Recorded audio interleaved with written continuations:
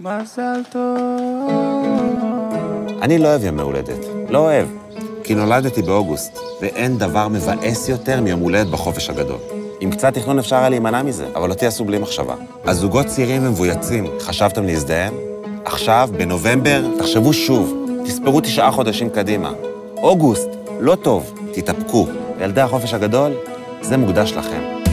כל שנה אותו סיפור, קצת לפני שבא כיפור, אני חוגג לבד לבד. וזה לא באשמתי, ההורים עשו אותי, וזה קרה בנובמבר. אל תתרבו בנובמבר, לא מתרבים בנובמבר. כולנו יחד מפסיקים בספטמבר, אל תתרבו בנובמבר, לא מתרבים בנובמבר. חוגג בחופש מעכשיו עד הקבר, ינואר, פברואר, מרץ עד אפריל. רוצה לחגוג כמו ילד רגיל, אבל שכבתם בנובמבר, כן שכבתם בנובמבר. And give a kiss to my mother. תנסו להיזכר בהתרגשות שביום הולדת בבית ספר. ההכנות, התכנונים. אתה בא ליום הולדת של איתי?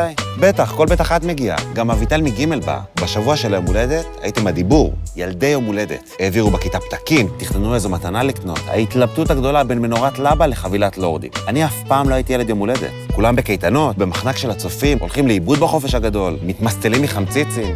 מי יבוא ליום הולדת של אורי? מי יבוא ליום הולדת של אורי? אז המורות חשבו על פתרון בזוי. יום הולדת אחת בסוף יוני לכל ילדי החופש הגדול. כן, המורה דליה? זה הכי טוב שלך? אני מזל בתוליה, בת... אל תתרבו בנובמבר, לא מתרבים בנובמבר. כולנו יחד מפסיקים בספטמבר, אל תתרבו בנובמבר, לא מתרבים בנובמבר. חוגג בחופש מעכשיו עד הקבר, ינואר, פברואר, מרץ עד אפריל. רוצה לחגוג כמו ילד רגיל, אבל שכבתם בנובמבר, כן שכבתם בנובמבר. And give a kiss to my mother. אני יודע שזו בקשה מעט בעייתית. אני גם קצת נכנס לכם לתחתונים, כן. אני לא קורא לכם להימנע מסקס. יש אמצעים שיעזרו לכם להימנע. נכון, זו התקופה. עלי שלכת חומים רוקדים ברוח, קרבולים מתחת לשמיכת פליז נעימה, בינג' בנטפליקס. זה הסתיו, הוא רומנטי. טבעי, כמעט מתבקש לעשות עכשיו ילד. אבל תראו אותי. אל תתרבו בנובמבר. אל תתרבו בנובמבר, לא מתרבים בנובמבר. כולנו יחד מפסיקים בספטמבר, תתרבו בנובמבר, לא מתרבים בנובמבר. חוגג בחופש מעכשיו עד הקבר, ינואר, פברואר, מרץ עד אפריל. רוצה לחגוג כמו ילד רגיל, אבל שכבתם בנובמבר, כן שכבתם בנובמבר.